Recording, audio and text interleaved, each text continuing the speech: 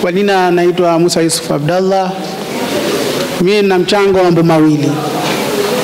Kitu cha kwanza ni kwamba hii mada ambayo tunaizungumzia hapa kuhusiana na vijana, hii ni mada pana sana ambayo ina wigo mkubwa sana juu ya kuhakikisha kwamba tunawatengeneza vijana wawe katika misingi iliyokuwa ni bora kwa taifa na jamii kwa ujumla. Lakini cha kushangaza kizuri cha kuzungumza ni kwamba hawa vijana hawawezi wakawa vijana bora kama kwanza hawajapata malezi bora. Malezi bora ndio yanamfanya kijana awe kijana bora na awe kijana ambaye anayestahiki kwa katika jamii iliyokuwa sawa. Nizungumzia katika malezi ni kwamba tuwaombe wazazi kwamba kuna kitu ambacho wazazi sasa wamekiondoa ambacho ni malezi ya pamoja. Hii ni kitu kimoja ambacho kinatufelisha sasa kuwajenga vijana wetu katika maadili mema, kwa sababu kila mzazi tumeondosha ile tatu ile namna ya kuwalea watoto kwa pamoja.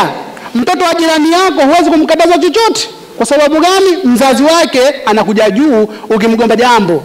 Kwa hivyo eh, hata kama kuna matendo mabaya kijana yule anayafanya, ni kwamba anashindwa kurekebishwa na jirani yake. Jamani wazazi, ningewaomba sana wazazi, turejeshe malezi ya pamoja, malezi ambayo haya ndio msingi wa dini yetu. Hata ukiangalia katika dini yetu yote malezi yalikuwa ni ya pamoja.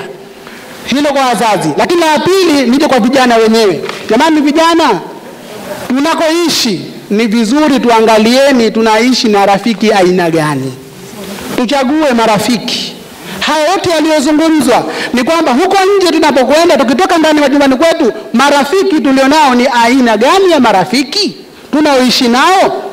Ni wale marafiki ambao watakupelekea katika maadili au ni marafiki anayekutoa katika maadili? Kwa sababu wazee wanasema siku zote ukikaa na mfua vyuma ni mawili, atakuonyesha moshi au atakunguzia nguo yako.